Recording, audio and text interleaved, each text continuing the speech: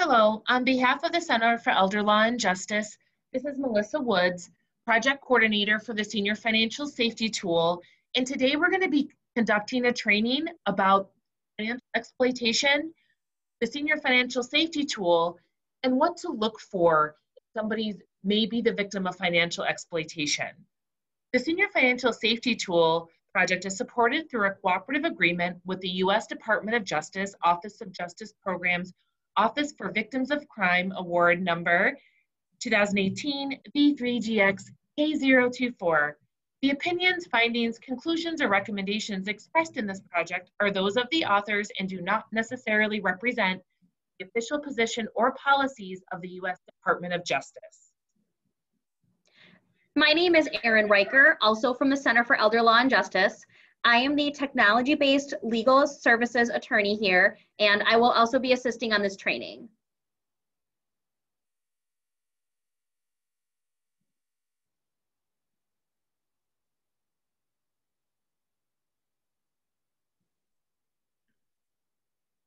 What is financial exploitation?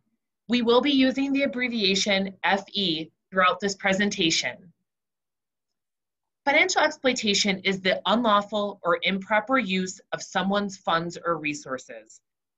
It is a multi billion dollar industry costing seniors $2.9 billion each year. However, only 1 in 44 incidents of financial abuse are reported to the authorities. Some key statistics to keep in mind.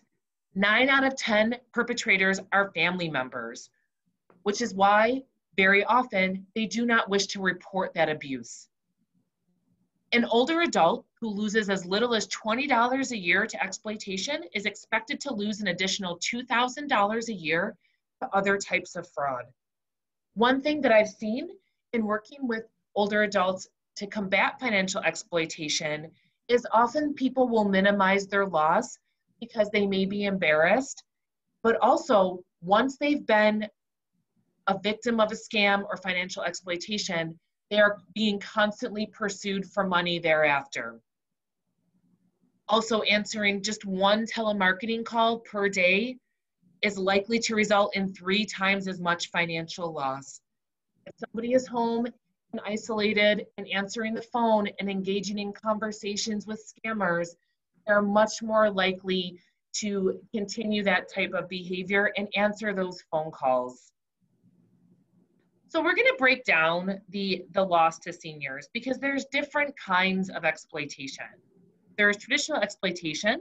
That's when businesses, individuals, or charities use pressure tactics or misleading language to lead seniors into financial mistakes. That's when they're taking advantage of somebody's, you know, time. Maybe they're, you know, they're a being that used car salesman. They're really talking to somebody and trying to get them to maybe sign up for a product or service that they do not need or tugging on their heartstrings in order to get some money from them. Then there's fraud. That's when criminals actually commit identity theft or con seniors into sending money or sharing personal information. This could be through over the phone asking for your financial information or your social security number and other information or by soliciting money by building up a relationship or maybe a romantic relationship online. And lastly, there's trust abuse. And that's when family, friends, or paid caregivers take advantage in order to get money from the senior. Maybe they're just asking for money to help with their own bills, but you know, the ask will increase, the money will increase. So overall, it's a, the cost is staggering, $36.5 billion. Now we're going to go over some conditions that increase risk. It's important to note that any senior is at risk for financial exploitation, but there are some conditions that can make some people more at risk than others. The first is a decreased physical health and mobility. As you decrease your physical health, decrease your ability to get around, you require more people to assist you. And letting those people into your life in a very personal manner increases your risk that they might exploit you. The second is confusion, forgetfulness, or a decline in capacity. Someone might not remember that they let their grandson have their debit card or that they signed up for a charity that they did not need. Capacity itself is a legal term that we will define in the next slide. The third is either social isolation or social butterfly. Being at either end of the spectrum can increase risk. Social isolation can increase risk because sometimes seniors get so lonely that they're just desperate for someone to talk to. Scammers will take advantage of this and fulfill that need for connection in order to exploit them for money. Social butterflies, on the other hand, love talking to anyone. They will talk and give all sorts of personal information because they just love having conversations. And that's again something that scammers will use to try and exploit seniors. An increased dependency on caregivers is also a condition that increased risk. Again, because it allows other people to be involved in a much more personal level in that senior's life in aspects of their life that they might not involve anyone else in before, such as their finances. And finally, poor family relationships, a history of mental health problems, drug abuse, gambling will also increase risk of financial exploitation.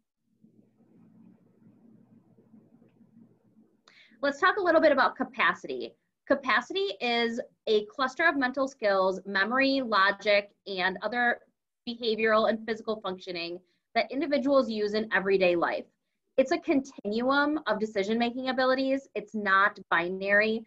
Someone may have the capacity to make the decision about what to have for breakfast that morning. They may not have the capacity to make the decision to sell their home or sign their deed over to someone else it's rarely lost completely, except if someone is in a permanent vegetative state, they will have capacity to do at least some daily tasks.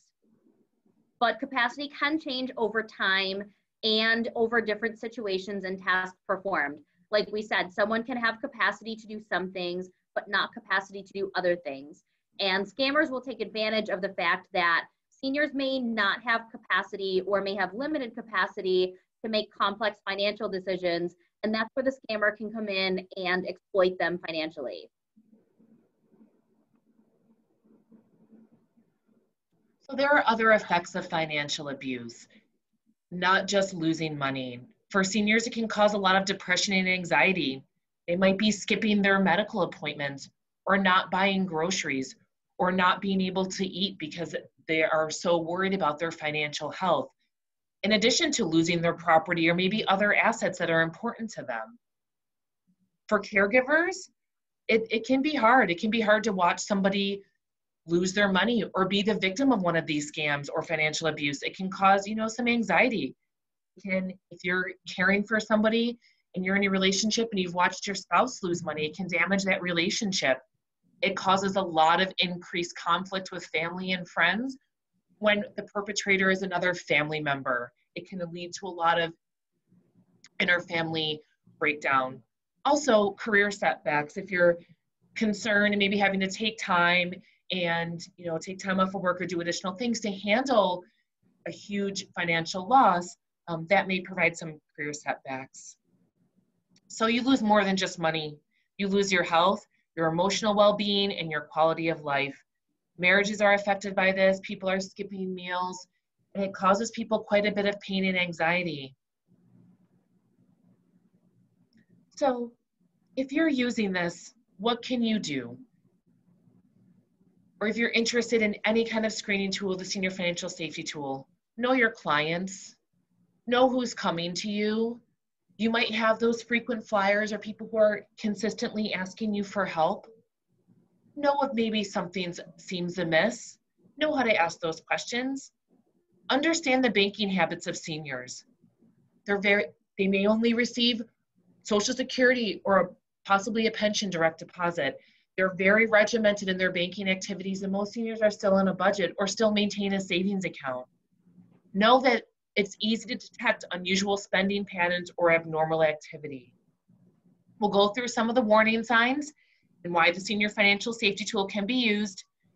And also you can file a suspicious activity report if you're working in a financial institution. One important thing to note, and this is information that was released in 2019, is that SAR filings on financial exploitation have quadrupled from 2013 until 2017.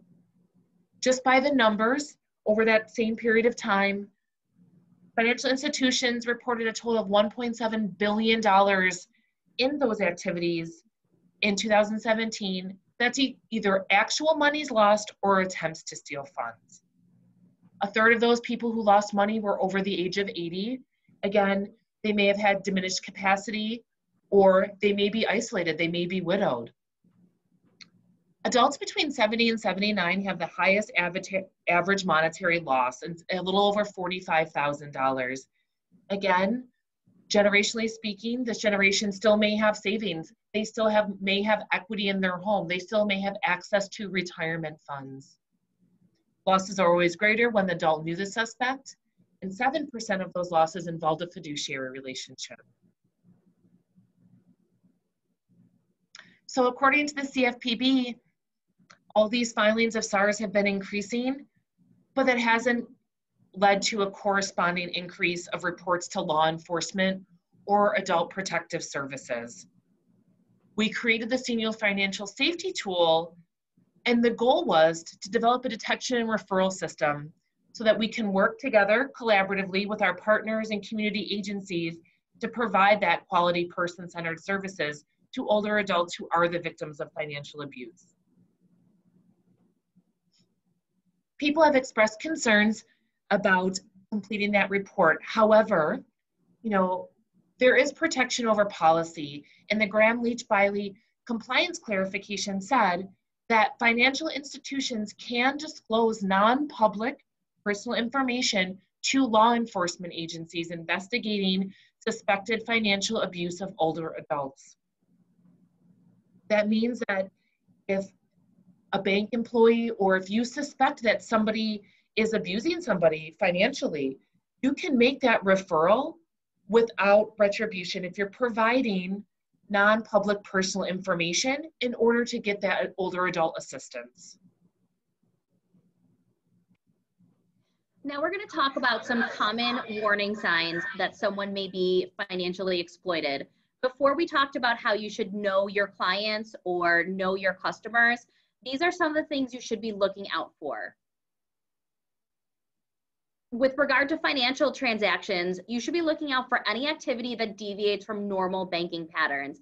Most people have certain either paychecks, social security, or other benefits that are deposited at a certain time each month, and then they have certain expenses that they pay once those monies come in.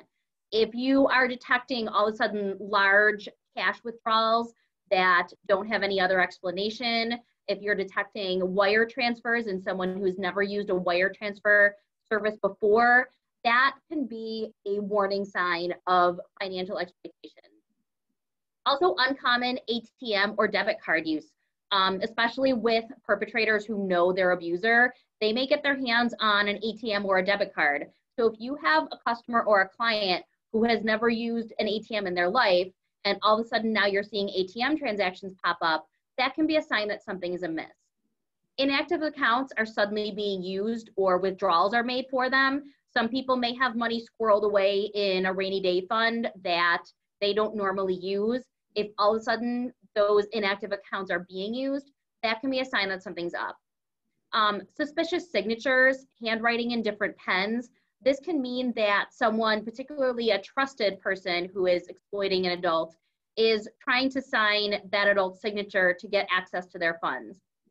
Sudden non-sufficient funds or overdraft fees. If you have a client who has never overdrawn their account in their life and all of a sudden they're overdrawing every month, that's a serious red flag.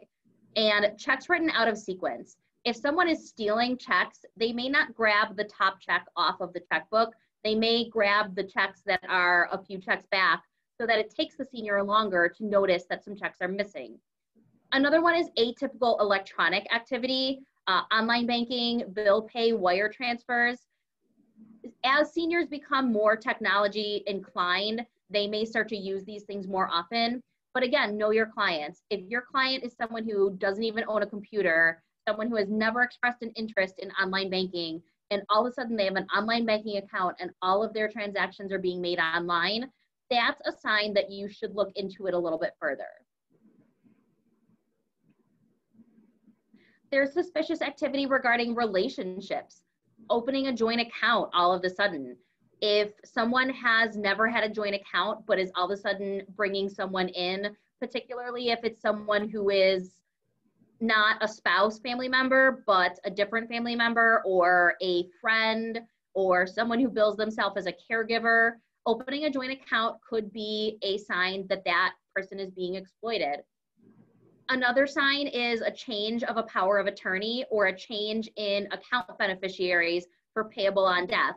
These might be payable on death to their spouse, and then all of a sudden someone changes it to be payable on death to a friend or a caregiver or someone else entirely.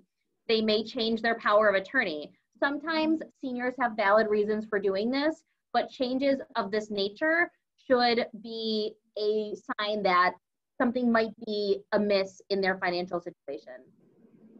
Having mail redirected to a new address, this is another thing where you want to know your client. If your client moved, of course, their mail is going to be redirected. If your client didn't move, but all of a sudden they're asking that their mail or their bank statements be directed to a different address, chances are that is a situation where it's not the client asking, or the client is being forced to ask by someone who is trying to exploit them. a suspicious activity regarding relationships can also include a stranger that accompanies the customer to meetings or asserts rights to an individual's finances. If someone who is unfamiliar all of a sudden wants to always be in the room with your client, they want to make all of the decisions, they're acting very imperious over your client, that can be a sign that your client is being exploited. And to go along with this includes new friends that suddenly appear interested in finances or relatives that you've never heard of before that aren't established caregivers who all of a sudden are very interested in this person's financial situation. Again, that could be a sign that they are new caregivers, but it's also something to look at because it could be a warning sign for exploitation. And again, a caregiver who speaks for a person in a silencing way, a caregiver who's imperious over an older person, caregivers who are legitimate are there to help the senior, not to take over their life. And so a caregiver who silences a senior and dismisses them and tries to make you feel like their the senior's opinion is not important could be a caregiver that is exploiting the senior. There are some suspicious activities that involve changes in the customer themselves, um, opening inappropriate investments, in ch a change in the affect or physical or mental status. If you've got someone who you know who is usually in a good mood and all of a sudden they come in and they're consistently tired or they look consistently down, this could be a sign either they're at risk for exploitation or that they're being exploited right now. Um, customers that seem confused about finances, they may be seeing activity in their bank accounts that they don't understand. They may be seeing new credit card statements that come to their house for credit cards that they never opened. Confusion may also be a indicator of diminished capacity, which is a risk factor for financial exploitation a person who is becoming increasingly isolated or dependent on a single friend, relative, or caregiver is a warning sign of exploitation because the people who are going to exploit an older person are going to try and isolate them. It's similar to domestic violence where they want that person all to themselves because then it's that much easier to control that person and to control that person's finances. A person who seems nervous or afraid around a particular person they might know that this person is exploiting them, but they might be afraid to do anything about it. This person may have been making threats against them to uh, take away their home or take away more of their money or take away their access to other family members.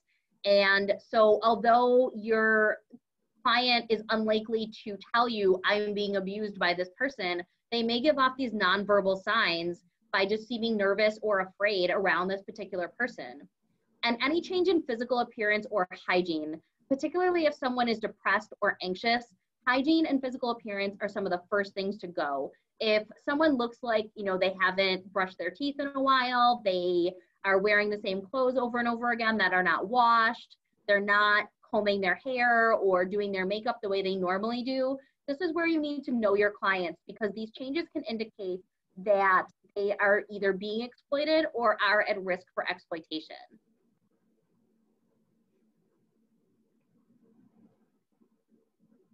So when you're meeting with folks, one thing to keep in mind is how can we ask our clients the tough questions? People are very private about their financial affairs. So how can we ask them some of these harder questions? We can say, hey, this transaction seems a bit out of the ordinary for you. Do you mind if I ask you a few additional questions? Meaning, you're not causing any flags, you're not causing any alarms.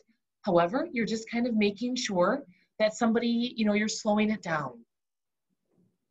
You can always ask, how well do you know the person that you're sending money to? Do you know this individual that you're sending that is you're being asked to wire money to or send cash or money orders or some other form of transaction? Have you met them? You know, especially for banking customers, I see that someone else is bringing you into the bank. How do you know each other? You know, is this your granddaughter that you've talked about? Is this your neighbor that helps you run errands? You know, ask who's this person that's now suddenly bringing you into the bank or maybe into the office? Can I ask you some more information about this transaction? I just want to kind of clarify what you need help with. Again, you're not you don't want to alarm the customer. You don't want to make them feel uncomfortable. You just want to be conversational you know, and really using a screening tool such as the senior financial safety tool can kind of guide that discussion. So what you'll need to watch out for are some of the top, this is um, from TrueLink Financial, but these are some of the top nine scams. I'm just gonna briefly touch on some that we see quite often um, in, at the Center for Elder Law and Justice. One is always the sweepstakes scams. You know, someone's won a prize and now you need to send in money to collect the winnings. It has various forms. You either need to pay money um, on taxes or, you know, you're going to send this money so we can ship you the car. We need to pay the shipping cost, so please send us $5,000. I've said this now for almost a decade. If you win a prize, if you do win a prize, or if you do have something, you will never have to pay anything up front. You're going to claim that income on your taxes.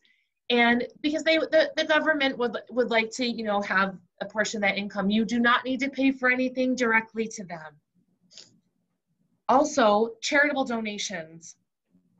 We see this quite a bit that you know there are charities out there that maybe mimic or have a name very similar to a different charity or you know with all these gofundme um, websites that are available right now that they really take advantage of somebody's generosity and you know to request donations either because they have memory loss and they're requesting repeatedly or they're pulling on someone's heartstrings and getting them to donate money for a cause that they may believe in and then letting that and and it's fraudulent. The grandparent scam is still happening. Scammers are still calling late at night or in the middle of the night um, pretending to be a family member. You know, usually it's a grandchild or someone in need of emergency funds by wire, by cash, um, by money order. Again, you know, we encourage folks just to reach out to somebody else to confirm that that is the case. Um, the sweetheart scam, you know, with social media platforms such as Facebook and other dating sites really taking off, you know, these scammers are befriending lonely older adults to kind of get access to their money or be written into their wills. This is not a short term scam. These people are really, you know, they're engaging in only email contact or contact by text, never in person or phone contact. And they're spending a lot of time, you know, talking to somebody, making them maybe feel good or feel like they have somebody out there they, they can speak with. And slowly over time, building up that love and that trust. And then the, the asks for money come. They may start small and they may increase in amount and severity. And there are other scams as well. You know, there's phishing scams, you know, people posing as government agencies, as financial institutions, as, you know, helpers or people needing information about their health care. And they're asking for people's personal identification information, either over the phone, by email, and people are responding. You know, if somebody receives an email threatening that their Social Security benefits will be stopped, if they don't provide or verify their information, for somebody who's living paycheck to paycheck or is you know afraid of you know may have some food insecurity or other financial issues they're more likely to provide that information okay we're going to talk a little bit about powers of attorney now because although a power of attorney is a very helpful and useful tool for an older adult to have it is also something that can be ripe for financial exploitation and scamming the legal definition of a power of attorney is that it's a legal document in which an individual known as the principal gives authority to a third party known as the agent to perform certain tasks and conduct business on the principal's behalf. The power of attorney document lists the various tasks that the agent is authorized to undertake for the principal. This is a form of substituted decision making document. There are other types of substituted decision making documents as well, such as healthcare proxies, but today we're going to be talking about powers of attorney. In plain language, um, a power of attorney is where one person, typically an older adult, designates one or more agents. They can appoint legally up to two agents as well as up to two successor agents. The agents are commonly referred, referred to as the power of attorney or attorney in fact, and then the agents act on the authority that the power of attorney document grants to the agents. What the agents can and can't do is spelled out in the document in very specific terms. The agents have a fiduciary duty once they sign the power of attorney agreement to act in the principal's best interest. They always must make decisions with the document that make the principal's lives better they can act anytime after the document is executed, even if the principal still has full capacity. Older adults might have a power of attorney if they are physically limited and need to send their son or their grandchild to the bank to them every two weeks to get some money out of the ATM or get some money from a bank teller. They have the capacity to make those decisions and decide that they need money themselves they just might not have the physical ability to do it, or it might be difficult for them to get around. But importantly, the agents do not need to wait for a principal to lose capacity before they act. They can act at any point after the document is executed.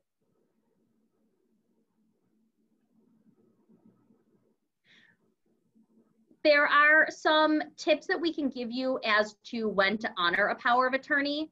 The law provides that a financial institution can reasonably refuse to honor a written power of attorney document under the following circumstances, and these are spelled out in New York State's general obligations law.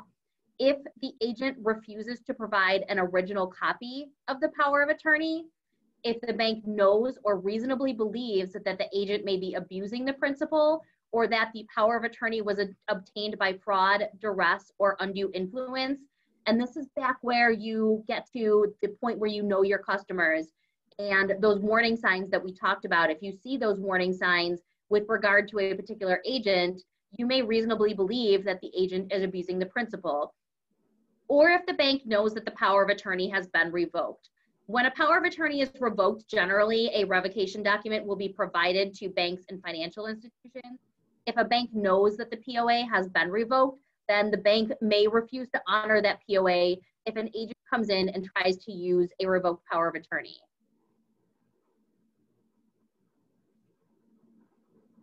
So what can you do? What can you do if you suspect abuse? One, you can always take the time to verify that there is an authority to conduct the transaction. Again, ask to see that power of attorney. Inquire about the relationship to the customer. And if you do have a power of attorney, verify the agent's identity. If somebody is in trying to conduct business on behalf of, of the principal, ask to verify the power of attorney and ask to view their ID. If somebody comes in and they're expressing concerns about financial exploitation, try to isolate the customer. Try to speak with them alone, ask questions about the transactions when it is safe to do so. Pay attention how your, to how your customer reacts. Maybe they may be scared, they may be looking over their shoulder, they may be fearful. Just pay attention. If you're able to kind of, you know, slow the transaction down and walk them over to another area and kind of have a private conversation, you may be able to make sure that they are more comfortable before proceeding. There is nothing wrong with saying, you know, I have some concerns about this transaction. When is a good time for me to call you, especially if somebody's waiting for them or they're in a hurry to get out of there or they don't want to have that conversation, maybe in front of other customers that are in the bank?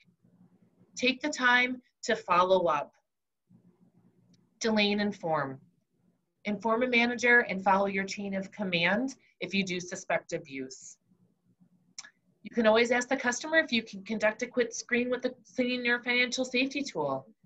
If anyone is coming to your window or your desk and they're expressing concerns about their statements or power of attorney, whether or not they've given out their financial information, if they're a victim of identity theft, take them through the tool, two to three minutes, and please let them know that there is assistance available to them. And as we always say here in our office, if you see something, say something. One thing to can always consider is that there may be some communication problems, you know, when you're speaking with older adults and how to kind of overcome those obstacles. Understand that people may be confused over your terminology or the technology. Not everybody has access to a computer or a smartphone, so they may not understand, you know, if you're trying to review things with them or ask them about their online activity. Often people who are the victims of abuse, especially financial abuse, it will elicit a strong emotional response. It can come out as fear, it can come out as anger. And sometimes your customers may have difficulty hearing or seeing what you're saying. So to take that time to follow up, to make sure that you can have a, a conversation that is appropriate, that is secure, that makes them comfortable is important. Don't assume that just because you're showing them documents or something they may have signed, that they even have the ability to read or see that document. Always you use clear and concise language. Ask open-ended questions. See if they're able to, you know, respond to you and give you a little bit of history about that transaction. Again, be a good listener, especially victims who of scams, they often fall prey to these scammers because they want someone to listen to them. They want someone to talk to. Take the time to really kind of listen to your older customers and, and listen to what they have to say. Treat them with respect and allow them time to respond. They may not be as quick to look up something or be able to review a document or scan something like you can as a financial professional. Allow them time to process and respond and always offer to follow up um, through the Senior Financial Safety Tool.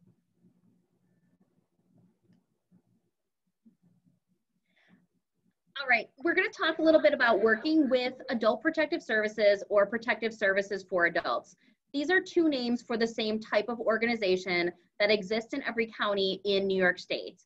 New York, unfortunately, does not require mandatory reporting in cases of elder abuse, with the exception that certain facilities and protective services for adults or adult protective services are mandated reporters. However, any individual that becomes concerned about an elderly or impaired adult can call their local PSA APS office. For those who do call, the social services law provides immunity from civil liability to any person who, in good faith, refers an adult that they believe may need protective services. This means you don't have to worry about getting sued if you refer a customer for protective services and it turns out they don't need it, or it turns out maybe they did need it but they didn't want it, you are immune from liability under social services law. So it's very important that if you see something, you say something. And one of the agencies you can talk to about financial exploitation when you suspect it in a particular older adult is your local adult protective services or protective services for adults office. And finally, you can always contact the Center for Elder Law and Justice. We are available to answer any questions you may have. We have close working relationships with departments of the aging, uh, APS or PSA departments, and other agencies that assist older adults. We also have relationships with enhanced multidisciplinary teams across Western New York. These are teams of professionals from various aspects of life, law enforcement, banking, social workers, and legal that work on elder abuse cases so that it can kind of be a one-stop shop for addressing an elder abuse case, resolving it, and preventing it from continuing. And finally, the senior financial safety tool that was developed with the Center for Elder Law and Justice, it was created specifically to provide you with a mechanism to make referrals to CELJ. You can make a referral at the customer's um, permission or anytime you feel that financial exploitation may be happening. And we can take it from there. We have experts with financial exploitation that can assist the senior with any level of assistance they might need. Maybe they just need a new power of attorney, or maybe they just need a safety plan. Maybe they're interested in litigation against the person who's exploiting them. Whatever they need to assist them with making sure the exploitation stops and making sure it doesn't happen again, we can help you with. We want to thank you for having this training with us today. And then we want to just remind you that anytime you have questions, you can contact the Center for Elder Law and Justice. Again, my name is Erin Riker, and I'm our technology-based legal services attorney. And this training was also joined by Melissa Woods, who's the project coordinator for the Senior Financial Safety Tool.